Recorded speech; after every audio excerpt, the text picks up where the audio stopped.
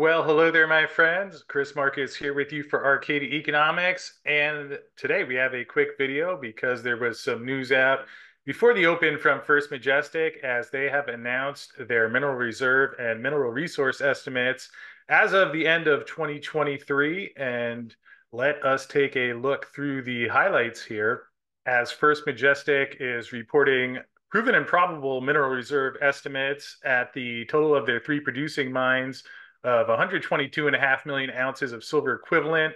Breakdown there is 56.1 million ounces of silver and 671,000 ounces of gold.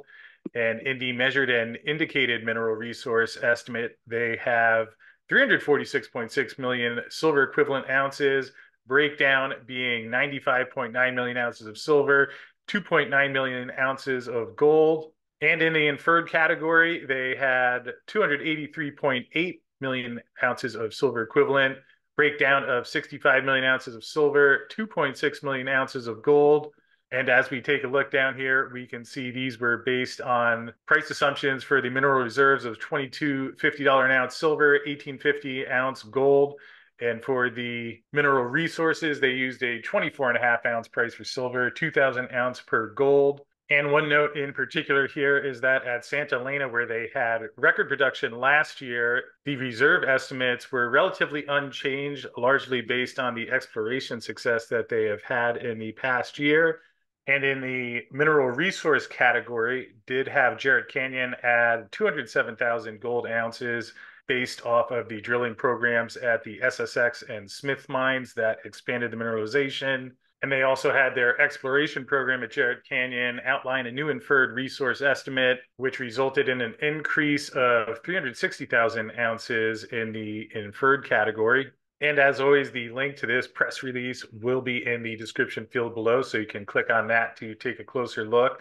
Quick look at First Majestic, which, along with the gold rally, has rallied really since that midpoint of February down at low as low as 417 up to 624 today. So good to see First Majestic moving along with gold and silver prices.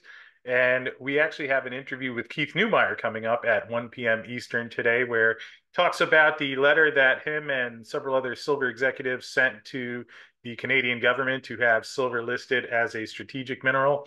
Also digs into some of the company developments, including how things are going with the search for additional water at La Encantada, as well as the updated plans and where they stand with Jerritt Canyon. So check back in at one o'clock today. And as always, thanks for tuning in. Hope you're doing well out there, and we'll see you in a little bit.